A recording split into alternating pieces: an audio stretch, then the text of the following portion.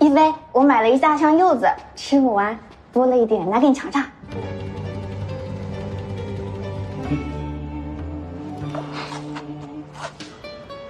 柚子，柚子肉，这位是你新交的保洁工阿姨？不是，是我朋友。我这柚子怎么了？没事没事，啊，他家里有人吃了柚子过敏，死了。啊啊！我也不爱吃柚子，谢了啊，谢了。不不不是，你这很很甜的。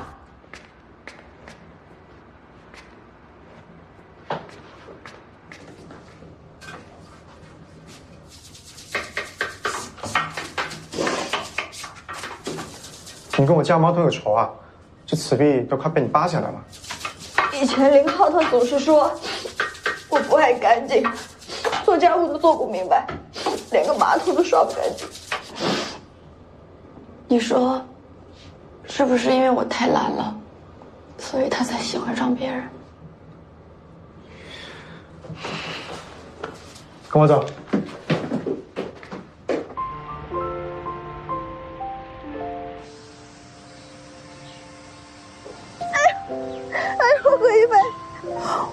我只是难过我老公出轨，我现在还不想死。听我的，从这跳下去，一切都会好起来，你的心病也可以治好。什么病？间歇性失婚抑郁症。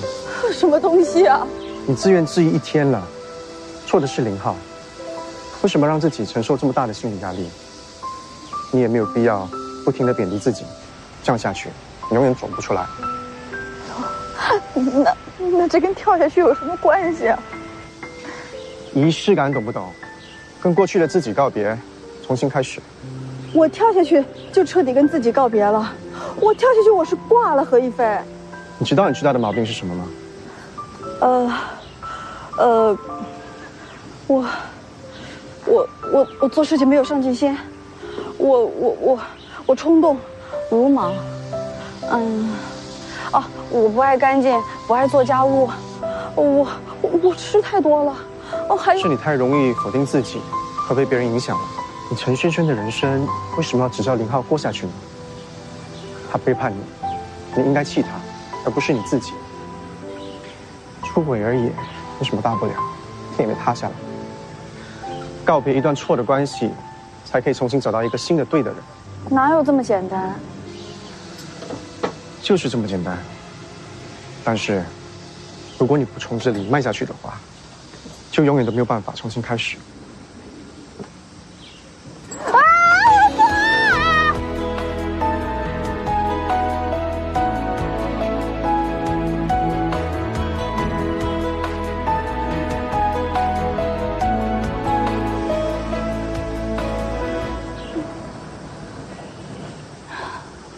都上来了，你还怕？这不就跳下去了吗？何一菲，你竟然推我，离谱！有时候人生的决定就像跳蹦极一样，需要另外一个人给你点助力，眼一闭一咬牙就迈过去了。不然的话，你会永远的困在里面，进退两难。可是我们在一起七年了，说的容易，你当时买菜呢，菜烂掉了，就扔了。啊，你也知道菜烂了，不扔你要拿回去等着它腐烂吗？及时止损的道理，你懂不懂？你是不会了解的。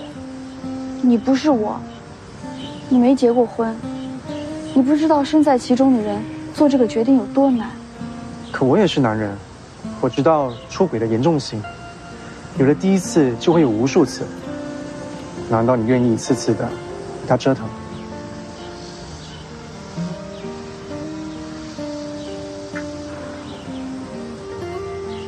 让我想想。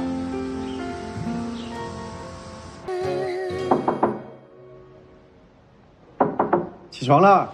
嗯。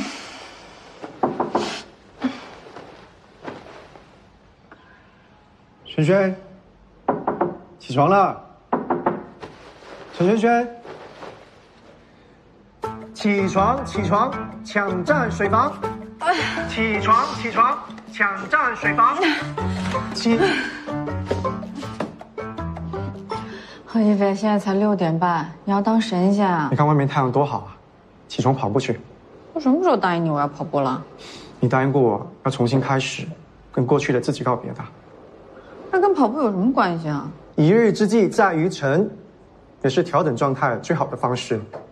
有个健硕的体魄，还有精力满满的你，才可以更好的面对接下来所有的困难。不能让我被困难赶紧埋葬吧，我要睡觉去了。哎，我可不允许一个自暴自弃的人睡在我家。走，何一菲，是你说要跑步的，你别后悔。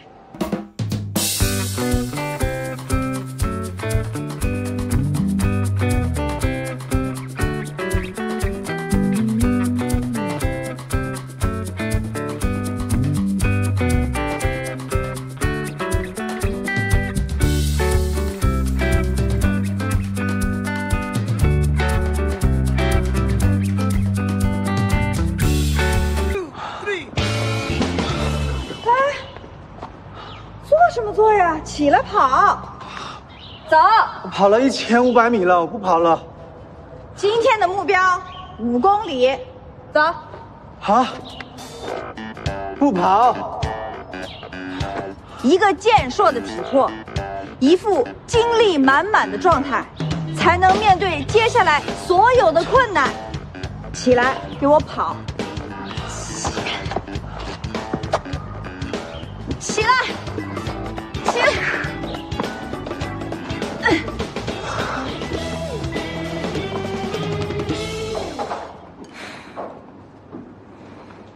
明天还跑吗，何先生？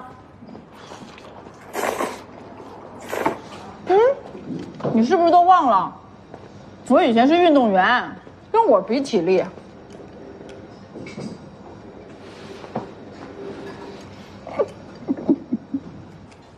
你现在这个样子，多好啊！我明白你的意思啊，你不用担心我，我会去找林浩跟他好好聊一聊的。我陪你去。你怕我自己难下决定？我怕你被他欺负，你这一根筋的个性，搞不定林浩的。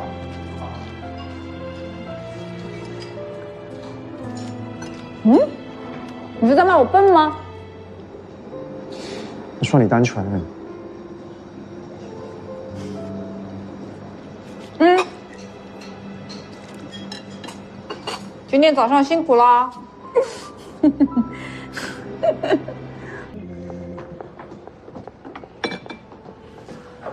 你打算等一下怎么跟林浩聊啊？我想看看他什么态度，然后再决定怎么跟他聊。那如果如果他用花言巧语把你哄回去呢？怎么可能？他做出那样的事情，你觉得我还会再回去吗？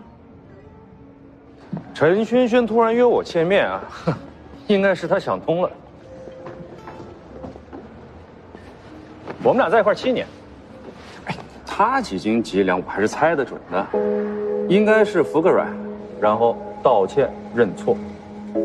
哎，你这么几天没回去，他都生活不能自理了吧？我猜就是，像她这种衣来伸手、饭来张口的大小姐，能离得了我？既不聪明，又不努力。如果不是仗着自己家里条件好，他能有什么出路啊？我要不是看在他有一个本地户口，还有一个可以帮上忙的教授爸爸，我早一步要跟他过了。还挑我的刺儿，我这种叫什么？在股市里叫做绩优股、潜力股。我能放下身段娶她，那是她的福气。真是，你呀、再拼个几年，生一生什么的，指日可待。我对我自己能力还是有信心的，只要我铺好这第一步台阶，后面我能登天，你信不信？信，男人在外面玩玩怎么了？他这个叫典型的拎不清。嗯，还真是拎不清。林浩，你